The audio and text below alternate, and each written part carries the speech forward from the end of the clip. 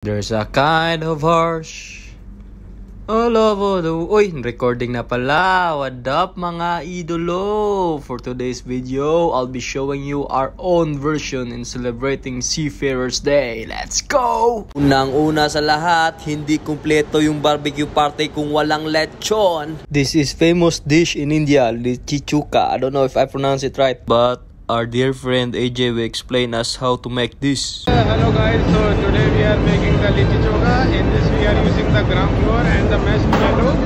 So we are making the dough. Inside this the filling we have all the potato and here on the grill we are just rotating them to making them grill and the final result is this one which we will eat with the choka and it is the very tasty dish. So hope you will enjoy it and you will like this. It tastes good though. Same as the bread but a little bit spicy. And now, bingo time. This is our prices and just forget it. I did not have any. Ah, just kidding. But at least we are full with the soft drinks and popcorn. Everyone is enjoying. Everyone is happy. Good foods thanks to the management, especially to the captain for having us this. Basic things to know. Yes, thank you for the introduction, Chief. and thank you for following my page. Fastest player. Oliver. the fastest player of all time. Let's go! Back to bingo. And what do you think? I win? Of course, no. The important thing is my stomach is full.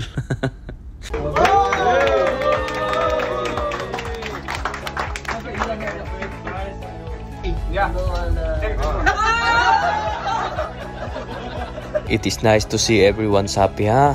Fast forward to barbecue. What a good timing.